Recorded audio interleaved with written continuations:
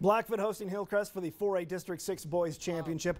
Broncos on the attack. The ball is crossed into Frankie Garcia, and the senior scores to put Blackfoot ahead in the fifth minute.